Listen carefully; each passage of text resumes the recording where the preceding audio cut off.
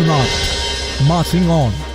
India continues to see nationwide unrest as doctors continue their strike calling for justice for the trainee doctor victim. Contagion concerns. Congo holds on to hope as vaccine delivery process speed up to fight against monkeypox. Passing the torch. A tearful goodbye for Biden's election dreams as Harris receives his fullest endorsement. Meanwhile, Trump's camp conducts counter-programming against the DNC. And time to tango. The World Tango Championships in Argentina see a creme de la creme of the dancing world at a center stage. All that and more as World News Tonight starts right now.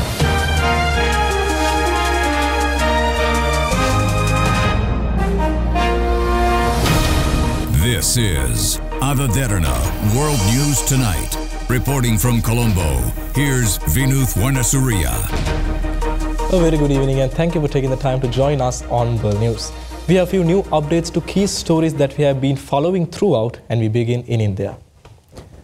Health workers across India refused to end protest and declined to see non-emergency patients following the killing of a 31-year-old medic who police say was raped and murdered at a hospital in the eastern city of Calcutta where she was a trainee. A colleague of the trainee doctor who was raped and murdered in Calcutta says the gruesome crime has left her mentally traumatized and scared to go to work.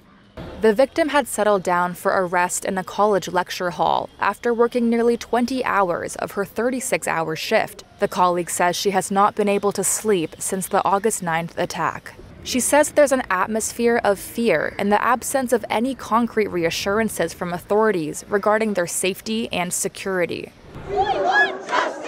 The attack has sparked a wave of protests, and doctors across the country have declined to see non emergency patients. A police volunteer has been arrested and charged with the crime. The government has urged doctors to return to duty while it sets up a committee to suggest measures to improve protection for healthcare professionals. A recent monkeypox case in Pakistan have been classified as clade 2b, differing from the clade 1b strain possible for the current outbreak in the Democratic Republic of the Congo, according to Pakistan's health ministry which clade 1b has not been reported in Pakistan and Swedish officials recently identified a clade 1b subclade in an individual, marking the first case linked to the African outbreak outside of Africa. The World Health Organization Director General Tedros Adhanom Ghebreyesus declared last week the uptick in mpox cases in the DRC and other African countries as a public health emergency of international concern.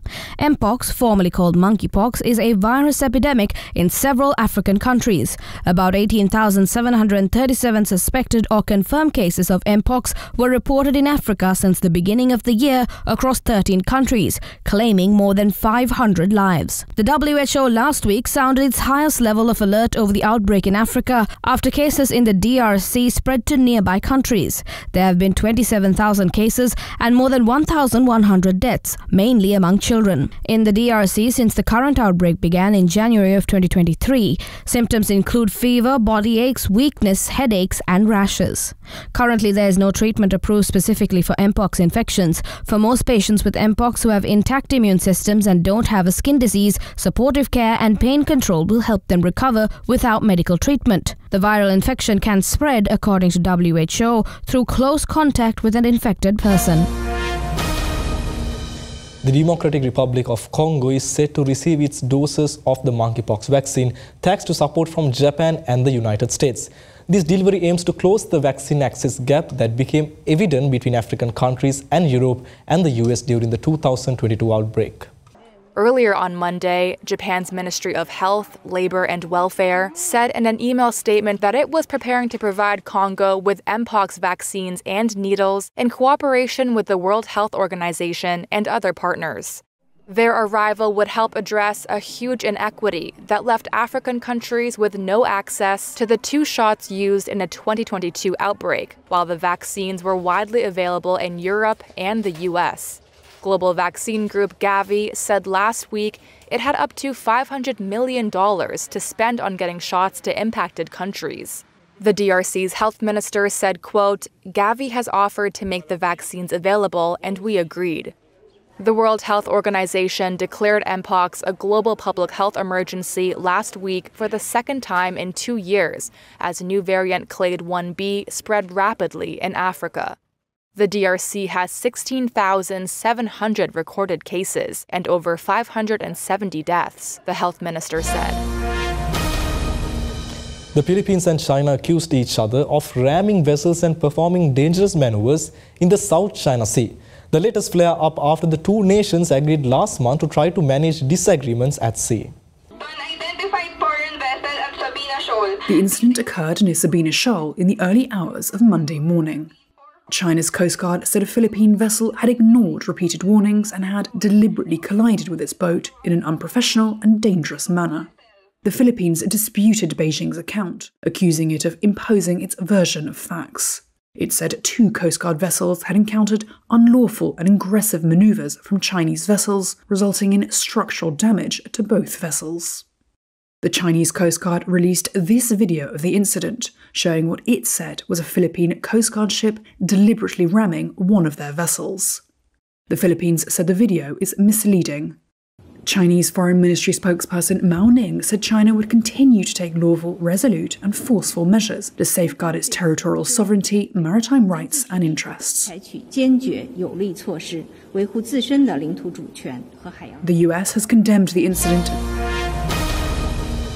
Australia and Indonesia signed a treaty-level defence cooperation agreement which allowed the Australian and Indonesian militaries to operate from each other's countries as per the Australian Prime Minister Anthony Albanese. Albanese told a joint press conference in Canberra with Indonesian President-elect Prabowo Subianto that the deal will be a vital plank for the two countries to support each other's security, which is vital to both the countries, but also to stability of the region that they share. Australia and Indonesia share the world's longest maritime boundary and already collaborate on a number of issues, including security, people trafficking and drug smuggling. Australia has struck a number of defense deals in recent years, most notably the AUKUS military alliance with the United States and Great Britain that has angered China. Well, let's take a short commercial break now. More world news on the other side.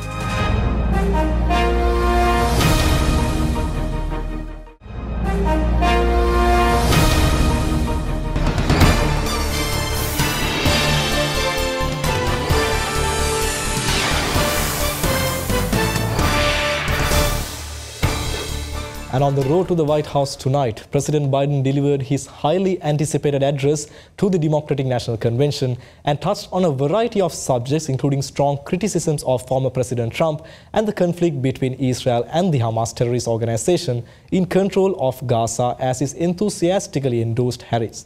Meanwhile, former President Trump's campaign launched a counter-programming effort in Chicago with two big-name surrogates who hammered Vice President Kamala Harris on inflation and the economy. A tearful Joe Biden took center stage on opening night of the Democratic National Convention, delivering a farewell speech to the party he has served for half a century after he reluctantly ended his re-election bid in July and endorsed Vice President Kamala Harris to replace him on the Democratic ticket. Biden praised Harris and her running mate Minnesota Governor Tim Walz as the best hope for preserving American democracy. Meanwhile, the Republican camp's Senator Ron Johnson and Senator Rick Scott stood in front of several charts that demonstrated rising prices on food and necessities at the Trump International Hotel and Tower in Chicago. The senators slammed the current state of the economy, specifically hitting Harris and President Biden and their administration for facilitating inflation increases. Last week, Harris's campaign announced a sweeping economic platform, which included a crackdown on corporate price gouging in the food industry. Harris revealed she plans to implement the first ever federal ban on the practice. The US accused Iran of launching a cyber operations against the presidential campaigns of Donald Trump and Kamala Harris and targeting the American public with influence operations aimed at feigning political discord.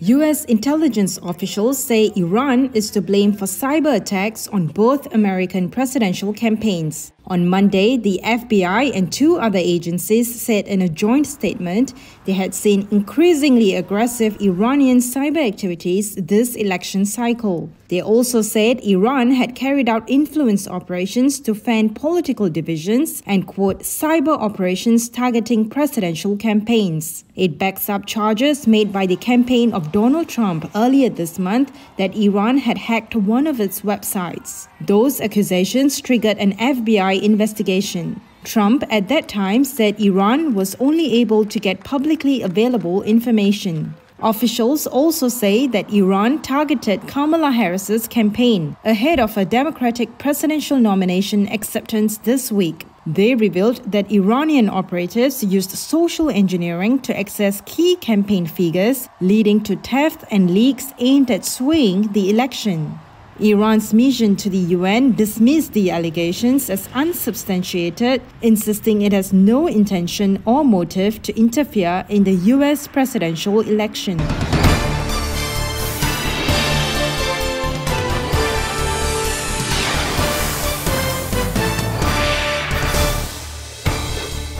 Israeli Prime Minister Benjamin Netanyahu has agreed to a ceasefire proposal brokered by the United States.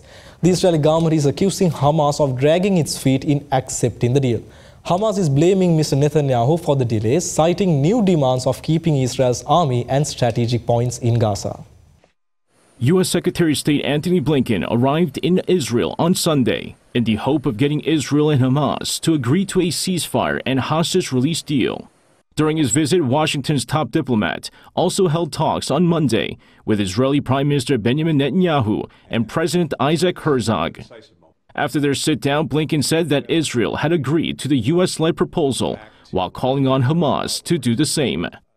In a very constructive meeting with uh, Prime Minister Netanyahu today, uh, he confirmed to me that Israel accepts the bridging proposal, uh, that he supports it.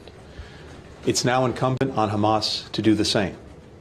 And then the parties, with the help of the, the mediators, the United States, Egypt, and Qatar, uh, have to come together and complete the process of reaching clear understandings about how they'll implement the commitments.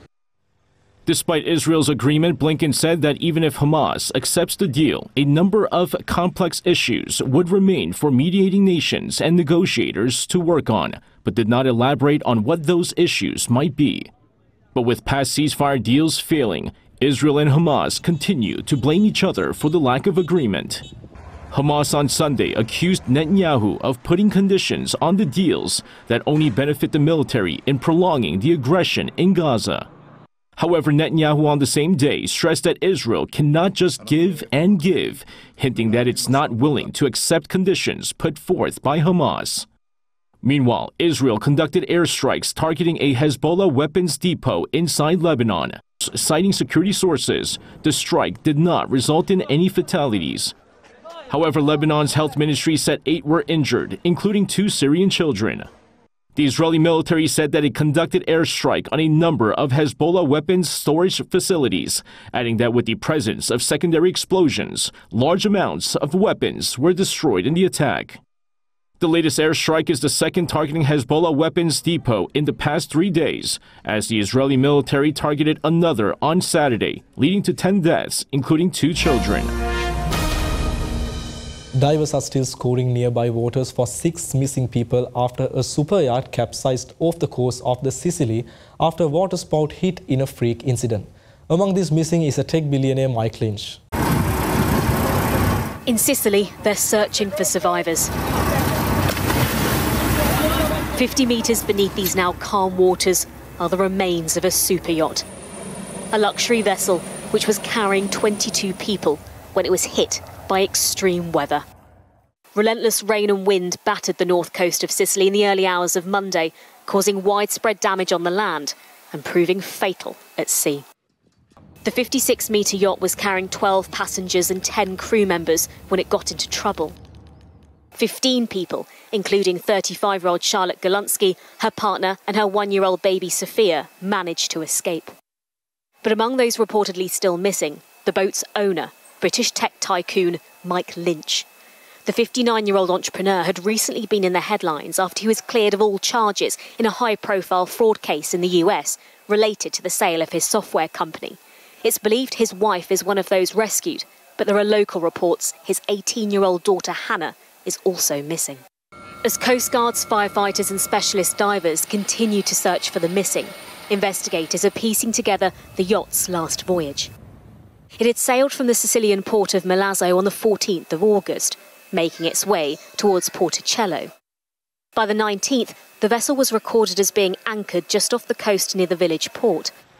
That's where it was when the storm hit, leaving passengers scrambling for safety in the dark. As medics tend to survivors, authorities haven't given up on those still lost at sea. Divers have already found one body near the wreckage, and they know with every hour that passes, this rescue mission moves closer to becoming a recovery.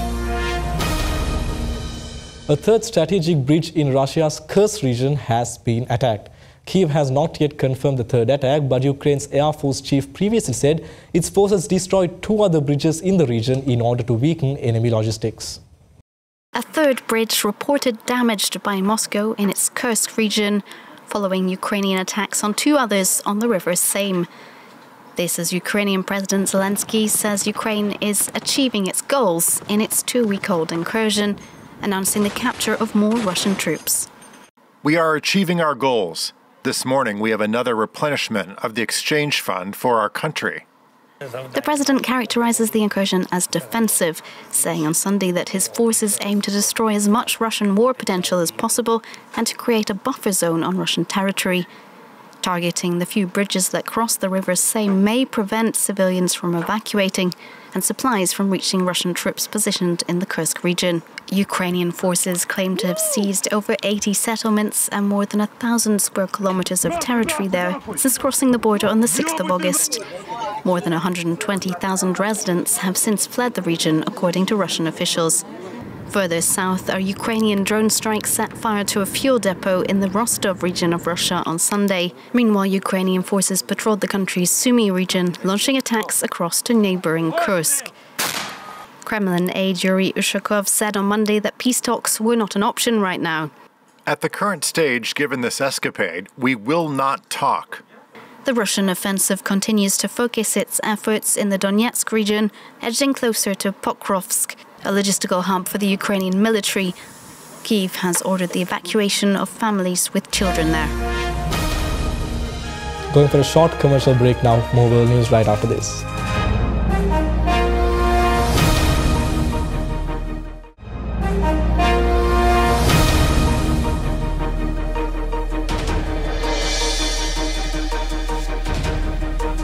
Welcome back. Couples from all over the world graced the stage in Buenos Aires during a salon category of the World Tango Championship. As well as being a display of a talent, the championship continues to grow in international relevance as it sets a record for participation with 750 couples from 53 countries participating this year. Salon Tango is often characterized by measured and smoothly executed moves. The walk is considered the most important element. The competition takes place during the Tango BA Festival, which began on Wednesday last week and will end on the 27th of August.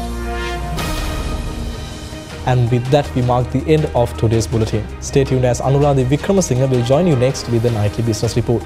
We will see you again tomorrow with the latest happenings across the globe. Thank you for watching. Have a good night.